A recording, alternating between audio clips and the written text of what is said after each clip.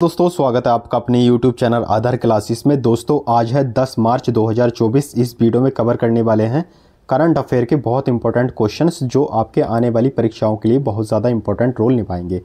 आशा करता हूँ कि ये वीडियो आपके लिए बहुत ज़्यादा इंपॉर्टेंट रहेगी और जितनी भी आपकी परीक्षाएँ होती हैं, उसमें जो है इसी तरीके के क्वेश्चन पूछे जाते हैं तो क्वेश्चन को जल्दी से कवर करते हैं। सबसे पहला क्वेश्चन है, किसने प्रख्यात लेखिका और इन्फोसिस फाउंडेशन की अध्यक्ष सुधा मूर्ति को राज्यसभा सांसद के लिए मनोनीत किया है। तो ये किया है द्रौपदी मुर्मू। ठीक है? नेक्स्ट क्वेश्चन करते हैं। क्वेश्चन नंबर दो।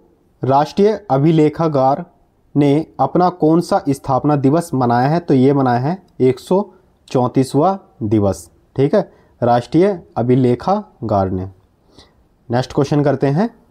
किस केंद्रीय मंत्री ने दिल्ली में कृषि integrated command and control centre का उद्घाटन किया है? तो किया है अर्जुन मुंडा ने। ऑप्शन नंबर सी हो जाएगा इसका आंसर। दोस्तों, इसी तरीके के अगर आप और भी नोटिफिकेशन चाहते हैं रेगुलर पाने के लिए तो हमारे चैनल को सब्सक्राइब करिएगा, क्योंकि इससे आने वाले जितने भी इम्पोर्टेंट नोटिफिकेशन होते हैं, ठीक है, जो आपके आने वाली परीक्षाओं के लिए बहुत ज़्यादा इंपॉर्टेंट रहेंगे तो वो सभी आपके पास में पहुँच जाएँगे।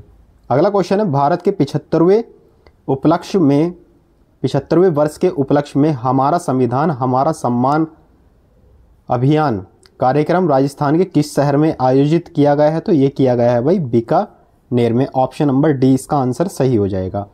नेक्स्ट क्वेश्चन करते हैं, कर्नाटक की राजधानी क्या में भारत की पहली ड्राइवरलेस ट्रेन की शुरुआत की है? वेरी वेरी इंपॉर्टेंट क्वेश्चन है, क्योंकि ये क्वेश्चन जो है आपके जैसे भी अभी आपने देखा होगा, रेलवे की जो वैकेंसी चल रही है, जितनी भी आपके ये एग्ज़ाम है, ठीक है, उसमें जो है हंड्रेड परसेंट ये क्वेश्चन आपको देखने को मिलेगा। और भी परीक्षाओं में देखने को ये मिल सकता है, लेकिन रेलवे में तो आप पक्का मान के चलो। तो कर्नाटक की जो राजधानी है, क्या है? बेंगलुरु। अगर आपको ये भी नहीं पता तो ये पता होता तो आंसर टिक कर सकते थे। लेकिन सपोज़ करो कि ये नहीं आएगा, अगर यही आएगा, ठीक है तो तब आपको याद रखना है बेंगलुरु, ठीक है?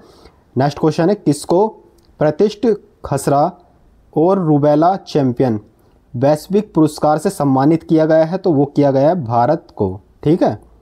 नेक्स्ट क्वेश्चन करते हैं। किसने स्थानीय मुद्राओं के उपयोग को बढ़ावा देने के लिए इंडोनेशिया बैंक के साथ समझौता किया है? तो वो किया है भाई रिज़र्व बैंक ऑफ़ इंडिया यानी आरबीआई ऑप्शन नंबर ए इसका आंसर सही हो जाएगा। नेक्स्ट क्वेश्चन करते हैं। हाल ही में कहाँ विकसित भारत एम्बेसडर आर्टिस्ट वर्कशॉप 2024 का आयोजन किया जाएगा तो ये किया जाएगा राजस्थान में। तो ऑप्शन नंबर इसका हो जाएगा डी आंसर सही हो जाएगा। नेक्स्ट क्वेश्चन करते हैं। केंद्र सरकार ने इंडिया एआई मिशन, यानी इंडिया एआई मिशन के लिए कितने करोड़ रुपए का बजट मंजूर किया है तो वो किया है दस हज़ार तीन सौ बहत्तर करोड़ रुपए। ऑप्शन नंबर बी इसका आंसर सही हो जाएगा। नेक्स्ट क्वेश्चन करते हैं। किस दिनांक को संयुक्त अभ्यास सी डिफेंडर्स 2024 का आयोजन किया गया है। तो ये किया गया है 10 मार्च 2024 को। Next question. अगला क्वेश्चन जो है वेरी वेरी इंपॉर्टेंट है। इस क्वेश्चन को जो है आप अच्छे से रीड कर लीजिएगा, ठीक है? क्योंकि ये क्वेश्चन जो है आपकी परीक्षाओं में पूछा जाएगा और 100 परसेंट पूछने की संभावना इस क्वेश्चन की। क्वेश्चन है, किस केंद्रीय मंत्री ने ई किसान उपज निधि का अनावरण किया है? तो ये किया है भाई पीयूष गोयल ने। ऑप्शन नंबर डी इसका आंसर सही हो जाएगा। नेक्स्ट क्वेश्चन करते हैं। किसने पाँचवें राष्ट्रीय युवा संसद महोत्सव 2024 में प्रथम पुरस्कार जीता है? तो ये जीता है option number C Yatin Bhaskar Duggal. ठीक है? दोस्तों, अब करते हैं 10 अप्रैल 2024 की एक छोटी सी क्विज और आंसर लगाना है आपको कमेंट बॉक्स में।